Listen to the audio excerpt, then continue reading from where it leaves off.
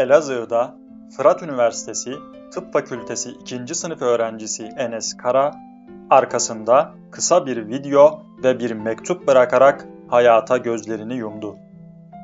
Ve bütün Türkiye'yi yasa boğdu. Ailesine, arkadaşlarına ve tüm Türkiye'ye başsağlığı diliyorum. Geride bıraktığı video ve mektubunda ise çarpıcı açıklamalar var.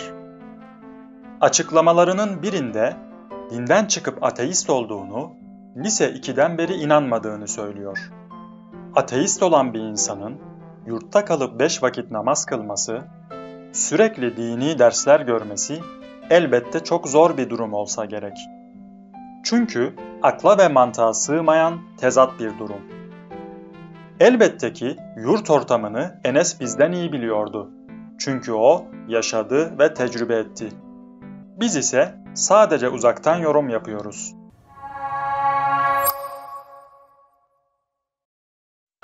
Enes Kara'nın yaşadığı, bir Müslümanın sürekli kilisede kalıp sürekli ayinlere katılması, ayinlerde şarap içmesi gibi bir şey. Benzer şeyler diyebiliriz.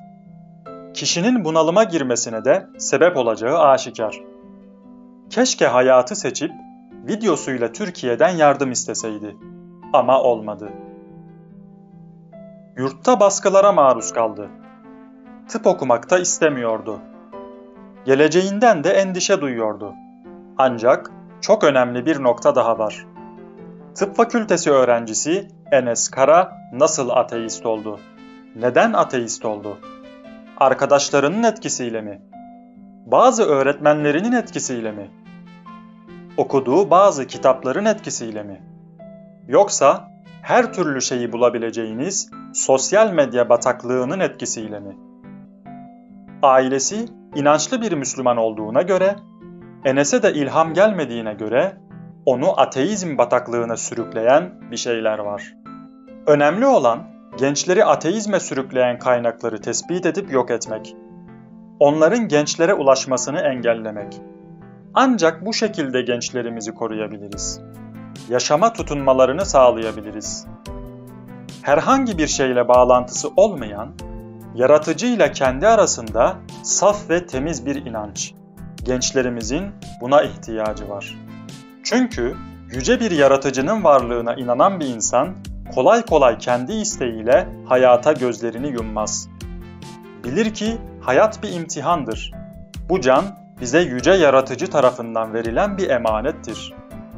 Dolayısıyla hayatın zorluklarına sabretmek gerekir.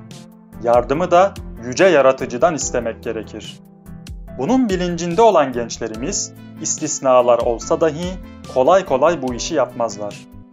İnançsızlığın en önemli yan etkilerinden biri de insanları çabucak depresyona itip bunalıma düşürmesi. Ateizm bir çıkmaz sokak. Profesör Anthony Flew uzun zaman ateizmi savunduktan sonra inanca döndü. Yanılmışım, Tanrı varmış adlı kitabını yazdı. Kitabında şunları yazmıştı. Evrenin sonsuz bir zeka tarafından var edildiğine, evrendeki karmaşık kanunları yaratıcının ortaya koyduğuna, hayatı ve çoğalmayı ilahi bir kaynağın başlattığına inanıyorum. Yarım yüzyıldan fazla bir süre ateizmi savunduktan sonra neden buna inanıyorum? Bunu kısaca şöyle açıklayabilirim. Modern bilimin ortaya çıkardığı dünya resmi. Bilim, doğanın Tanrı'ya işaret ettiğini bizlere gösteriyor.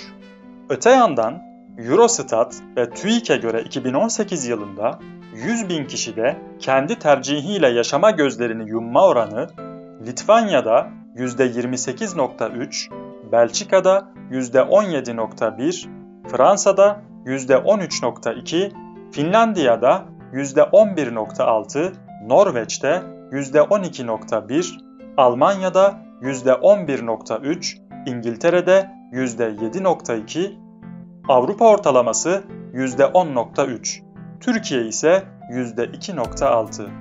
Türkiye'miz her şeye rağmen saf ve temiz olan dini inancını koruması nedeniyle yaşama son verme oranlarında bir hayli geride.